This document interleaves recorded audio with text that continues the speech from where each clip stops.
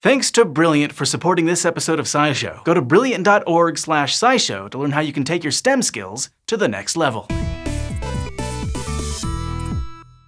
DNA is central to biology as we know it. On a big level, it shapes species and how they evolve over generations. And on a small level, it's the code that keeps your body going day in and day out. But getting to the point where we understood that took years of research. By the 1940s, the most we knew was that genetics involved compounds called nucleic acids, but we didn't know which ones were important or in what proportions. And for that knowledge and much more, we have to thank Marie Maynard Daly. If you've heard anything about Marie Daly, it's probably about her work on atherosclerosis, aka clogged arteries. By feeding rats high cholesterol diets, she and her colleagues observed a connection between cholesterol, high blood pressure, and arterial lesions. And while that might sound obvious to us now, at the time, it was groundbreaking and served as a foundation for researching other high blood pressure diseases. But this wasn't anywhere near where Daly's career ended or began. In graduate school, she studied the substances involved in digestion,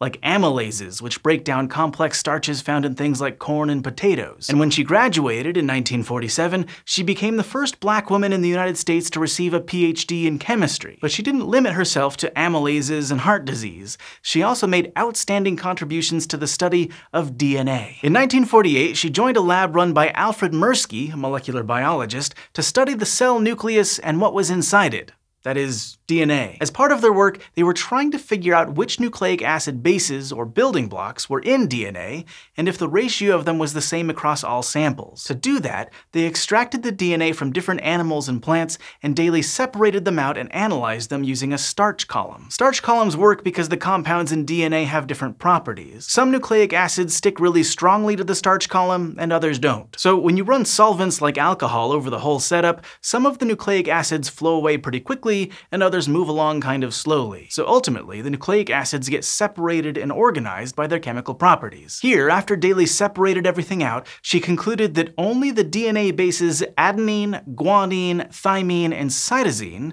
were present in significant amounts, or today you might hear them as a, G, T, and C for short. And she was right. I mean, there's a reason you still hear about these bases in biology class. They're the main building blocks of DNA. And beyond that, this was also the nail in the coffin for another hypothesis at the time, which said that there were tetranucleotides, or compounds where A, T, C, and G were all fused together. Daly's research showed that this just wasn't possible. And this wasn't her only contribution to genetics either. She also made discoveries that help us understand not just what DNA is made of, but how that genetic code or genome gets translated into proteins that run our bodies. See, here's the thing about genomes. They contain all the instructions our bodies need to make proteins, which then go on to do all kinds of jobs. But how do our bodies know when to read which part of the genetic code? It turns out that the answer comes down to structures called histones. As part of her work, Daly isolated the histones from different animals to determine what they were like and what they did. One of her major findings was that there were different kinds of histones.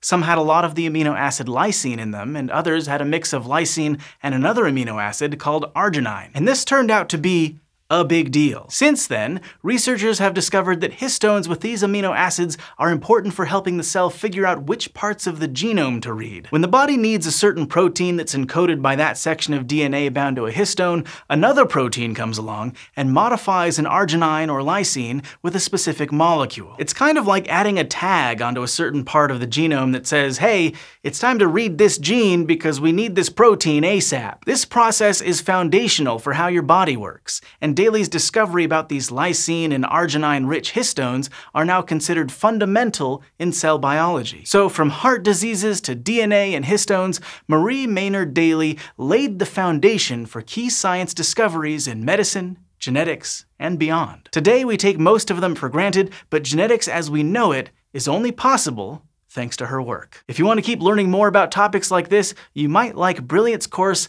The Chemical Reaction. It's all about learning to predict what happens in chemical systems, but without needing to memorize a bunch of equations or quantum mechanics principles. Instead, it's based on hands-on interactive learning, and the course comes with all Brilliant's usual diagrams, guided problems, and more to make it easy to follow. If you want to check it out, you can go to brilliant.org slash scishow, and if you sign up, you'll get 20% off the annual premium subscription.